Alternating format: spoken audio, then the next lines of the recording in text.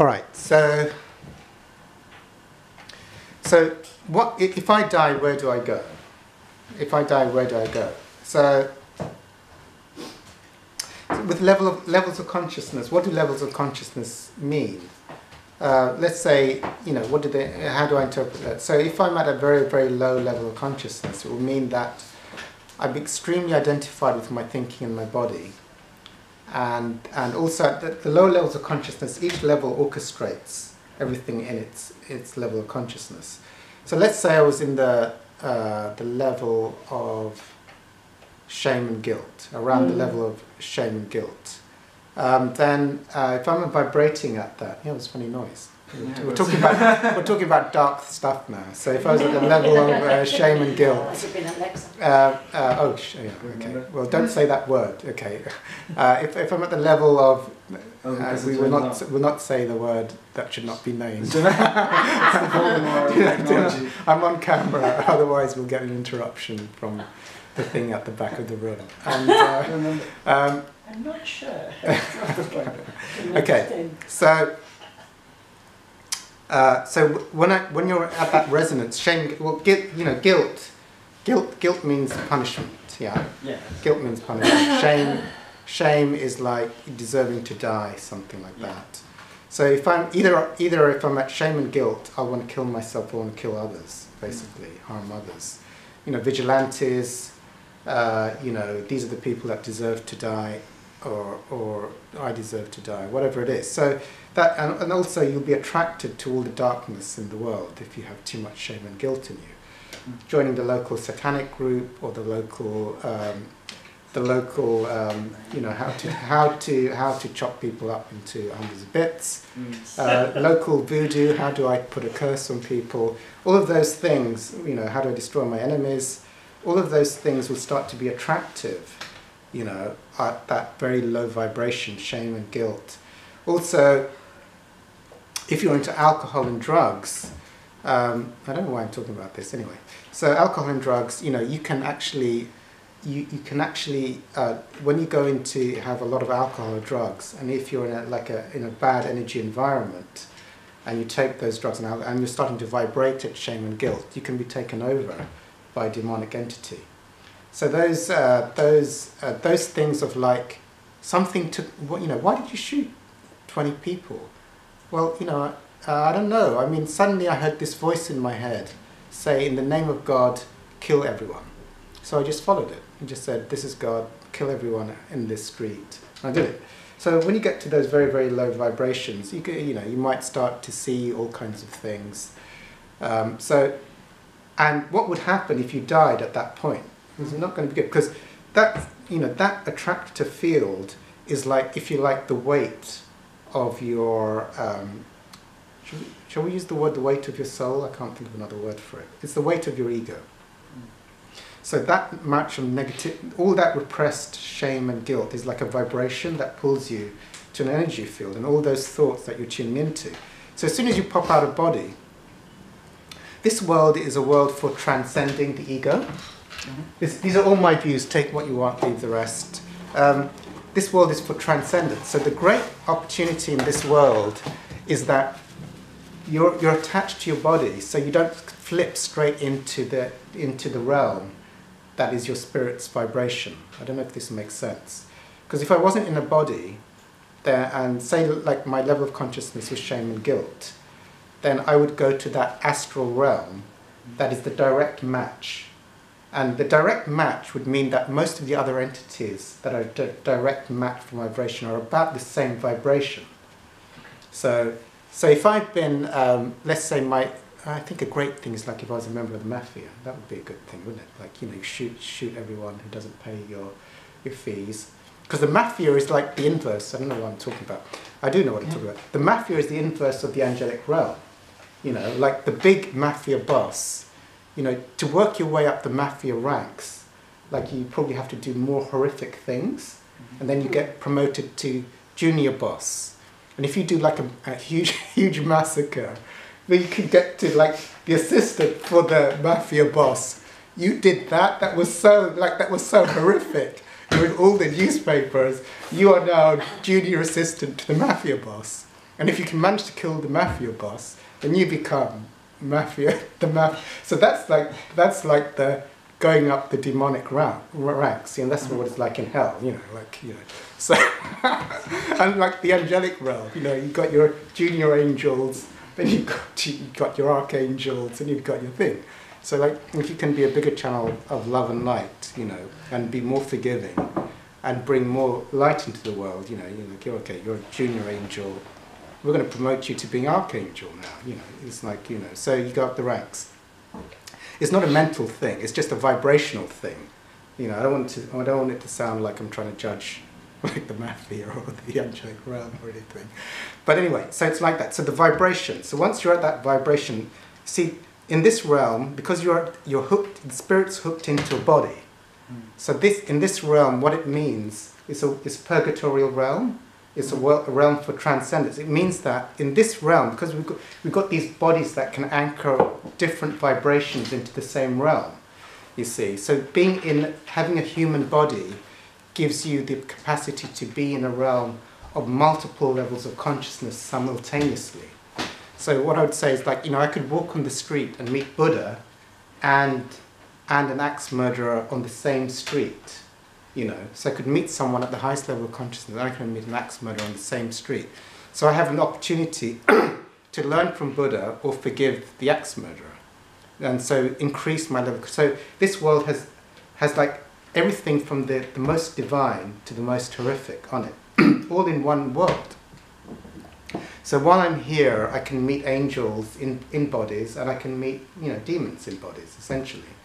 So, but what when I leave this body, then it's just my vibration. I'm no longer hooked into the physical body, which means that if I was like in a realm where I was like tormenting other people and tormenting myself and killing others and putting voodoo spells on others or whatever it is, then I no longer have the body. So I'll just flip into a, a, vibrational vibrational realm, the astral realm, which is the and most of my most of my fellows will be at the same vibration as me. Mm. So so if I've been killing and murdering, and this realm, uh, all my all my bodies and spirits will also be the mafia of people, you know, and I'll be in a realm where there's we're all having that same vibration. We no longer got bodies, so we're all quite similar. Mm. Now the uh, angelic realms the angelic realms, like if I've been practicing A Course in Miracles and loving, you know, I see Christ in you. God, you're just like Christ, or whatever it is. I see you're so sinless and pure. And everyone here is so sinless. In fact, there's no two of us. There's just, we're just one, one big piece of love here. You know, so if that's what I've been doing my whole life, and there's hardly any ego and there's just infinite love all the time, and I flip out of the body, but if there's some sense of separation, then I'll flip into the angelic realm, you know, where, you know, you could say like, oh, you know, everyone's just trying to be loving to each other. We're probably listen to like hymns the whole day long. There's also different heavenly realms, you know, like everyone's just trying to be more forgiving than the next person. So it's just love and love and love. And we're still in separation because there's still a little bit of separation left. If you start to go into, so that would be, you know, those are the, you have the, the astral realms at different vibrations that go down and down. Mm-hmm. And, uh, and as Hawkins said, you know, first you're going into, uh, shall we call them levels of hell, the lower level, the lower astral realms, levels of hell, where you're still feeling separate in spirit, not in body. And there's other, you know, like, oh, I'm, I feel like I'm a spirit body. You know, when you go into dreams, but you still feel like you're real, you know, body. So that would be like a, you know, I had, um, I had a, I think, you know, I had something like, a, you know, I think everyone can relate, like these dreams where you feel you're in hell. Can anyone relate?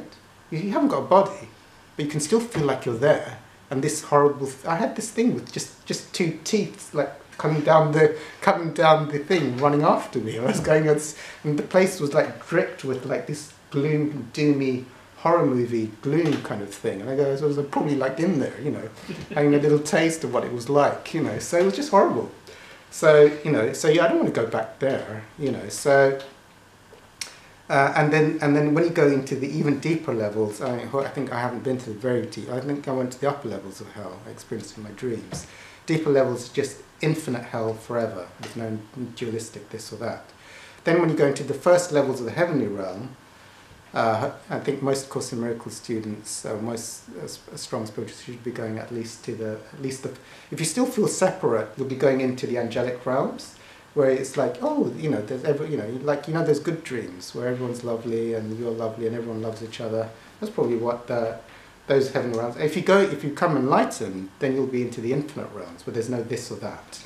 So you, then you'll be into the realms of higher levels of infinite power, uh, high levels of infinite power, but there's no this and this. When I had my white light spiritual experience, you realize that the level of infinite light and love is so blinding that there cannot be a thought, there cannot be, a, there cannot be even color.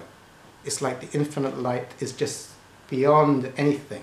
So that, so you can imagine like levels of light becoming more and more intense, uh, going higher and higher into the infinite realms beyond form.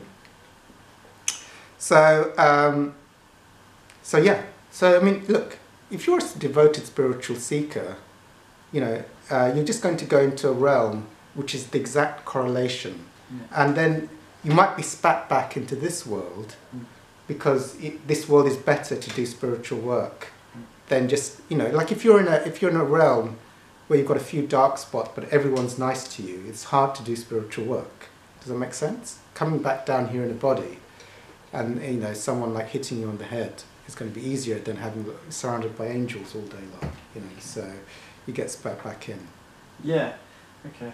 Yeah, I think the main thing was for me was just to understand that it has nothing to do with that anthropomorphic thing of god punishing you and sending you to a hellish place.